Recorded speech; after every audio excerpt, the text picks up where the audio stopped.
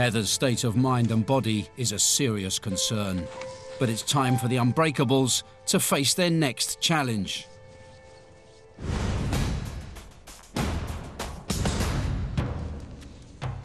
So you've experienced some of the natural hazards here, the snow, the wet, the cold, the ice. But let's not forget that the Norwegian School of Winter Warfare is a combat unit. And now you are about to experience one of the cruelest weapons that man has devised, gas. This timed challenge tests a soldier's ability to withstand a gas attack. Inhaling CS gas causes a suffocating sensation that leads to choking and vomiting. The masked run disorientates them. The sweat they generate will make the gas work more effectively. And they will be breathing more heavily, forcing them to inhale more. All right, well, welcome into the gas tent. First one starts here, takes the mask off, give, presents to me with a name, age, where he or she comes from, and then uh, we'll see if we can uh, add some additional questions to it. Former boy band member Barnaby is first to remove his gas mask. Mask off, Barnaby.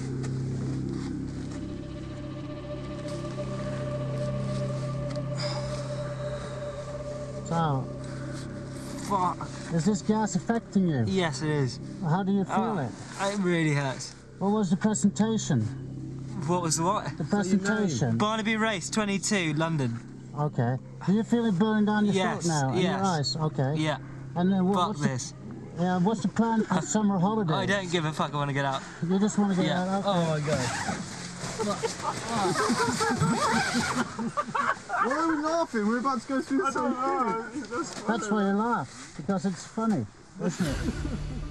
Barnaby withstands the gas for 32 seconds. Oh my god. It's not cool at all. It really hurts.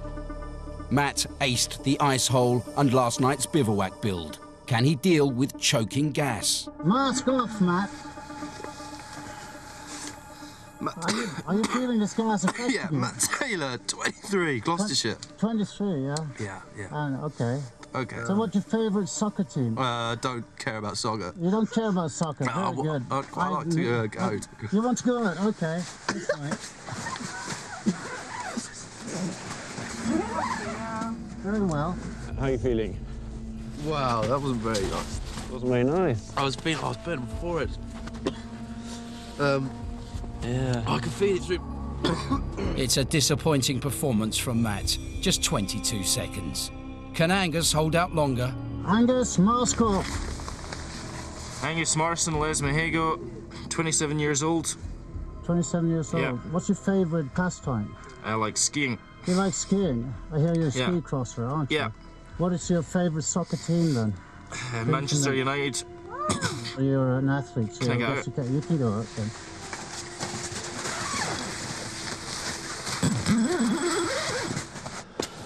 How are you feeling? It's like breathing in pepper. At 39 seconds, Angus sets the target to beat. Carla can manage just 20 seconds, Dave 23 seconds, and Heather 25 seconds. A decent effort considering her earlier state of mind. Ooh, it's not nice in there, eh? Fraser is last up. As the oldest Unbreakable, he feels he has much to prove. I'm 44 years old, and I want to put that wisdom and physical shape into action. I won't struggle going up against competitors half my age because I have the right aptitude and fitness level to compete against them. Can Fraser hold out now and achieve his goal? Fraser, mask off. Fraser Harold, formerly from Liverpool, now living in North Wales. Okay. What's your favourite hobby? Uh, cycling. Cycling. Very good. I like cycling too. Are you a road cyclist? I am a road Oh, cyclist. too bad, because I like mountain biking. okay, well, I like mountain biking as well. Yeah, other sports? Are your favourite soccer team?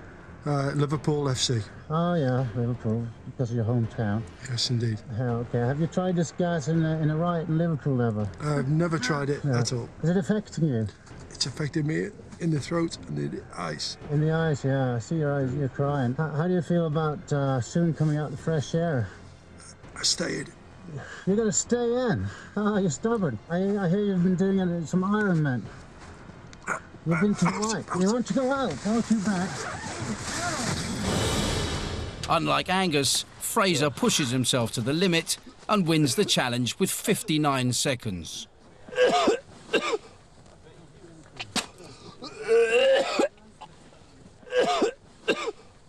Could you have stayed longer? No, no, that was it then. I was going to burst a hole through the you Try and stay as long as you could. Yes. You're crazy, man. The test is completed and all seven unbreakables are still standing. No one has lasted a minute, but can the original unbreakable, Benedict Allen, show them how it should be done? Okay, Benedict, mask off. What's your name and your age and your hometown? Uh, my name is Benedict Allen. I'm from Bristol. Uh, my age is 48. You're 48, yeah. And how does a 48 year old cope with this gas? Well, not all that well. Uh, feeling it now attacking my throat, beginning to attack my eyes, beginning to burn my th- throat. It's stopping me uh, talking very easily. Do you feel the urge of rushing outside to get some fresh air? Not quite yet, but I'm getting towards that moment. You're getting moment. towards it, yeah. Does it remind you of anything similar? Have you ever experienced anything that reminds you of this? Uh, when I've been drowning, uh, and my canoe has capsized, I've been fighting for breath. Starting to feel that now. One minute, eight seconds. One minute, eight seconds. You're doing quite well there, Benedict. No Thank you very much. Well, you should wander about in the tent and see how it looks. Well, I'm quite happy actually. You're quite happy standing Just where you are. Standing where I am, I'm quite aware of this gas being all around me, trying to sort of get me. You're doing well. You're doing well above the average. You think I should fire out another pill? I don't think you should. You don't think I should? I think it's quite enough here. Well, you see, the gas is. Uh, That's a bit unfair. You're waffling it. is it unfair? Do you feel it is stronger when I wave it at you? It is. It is. Okay.